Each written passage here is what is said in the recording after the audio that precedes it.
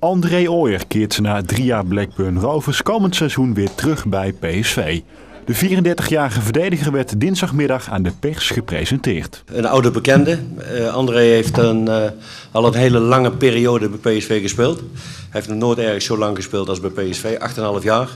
En uh, wel met heel veel succes, want in die periode is PSV vijf keer kampioen geworden. We hebben ook de beker gewonnen en elk jaar hebben we Champions League gespeeld. En daar hebben we hem ook voor gehaald om ons weer terug te brengen op, op die plek.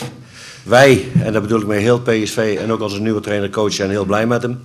Omdat wij een speler van het kaliber André Ooyer heel belangrijk vinden voor, uh, voor PSV. Om onze jonge spelers verder te helpen.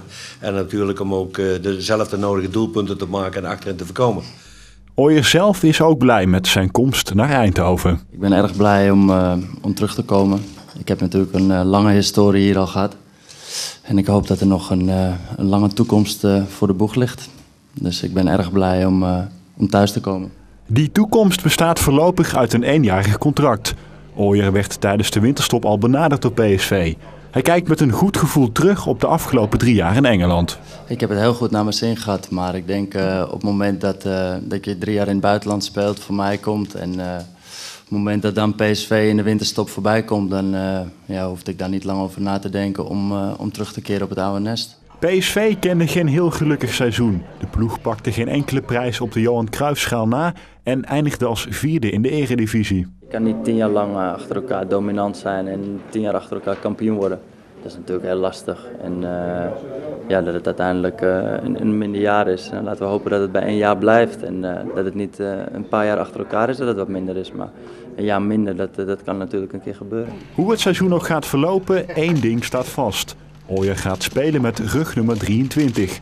Traditiegetrouw ontving hij het nieuwe shirt uit handen van PSV-corrivé Willy van der Kuilen. Tijdens de persconferentie was Ooyer gekleed in een zwart blouseje.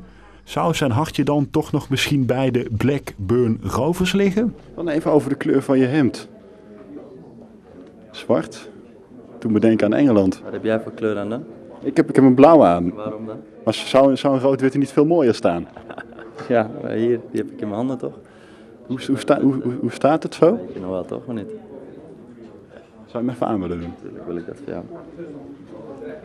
Maar waarom wil je dat ik hem aandoe dan? Nou, dat vind ik mooi om te zien weer. Ja, is het ook.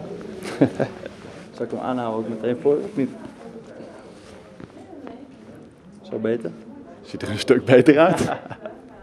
Vanaf volgend seizoen in het rood-wit André Ooyer.